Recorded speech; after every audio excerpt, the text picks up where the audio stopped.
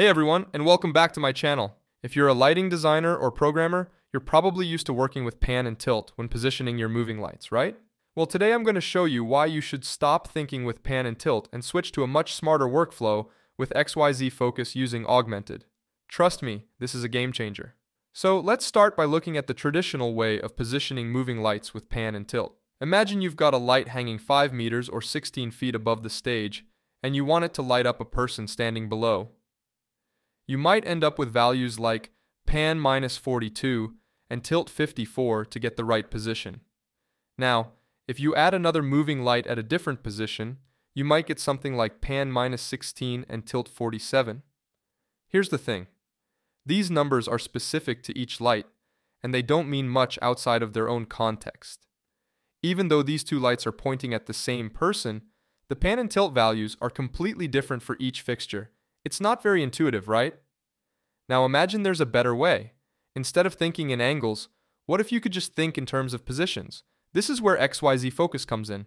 In XYZ mode, we work within a coordinate system, just like plotting points on a map. Here's how it works. X is left and right, Y is forward and backward, Z is up and down, so that's the height above the stage.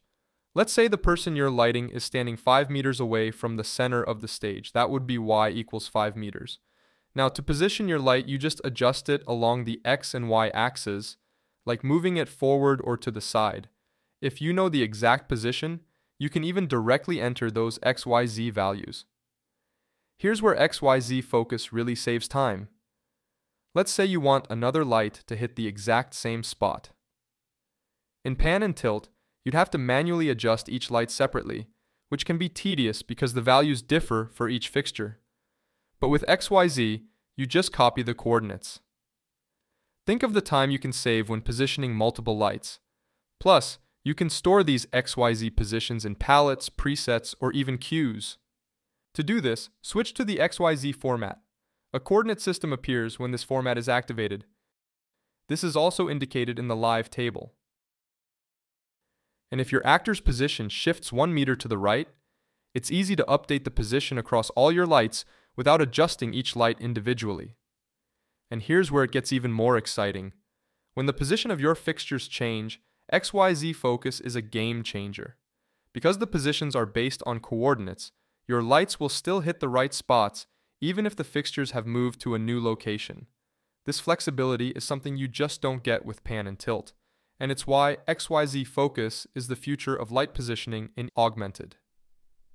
In the upcoming video, We'll dive deeper into how this flexibility comes into play when working with scenic element movables, like moving trusses or objects. If you found this video helpful, support this channel by hitting the like button and subscribe for more videos like this.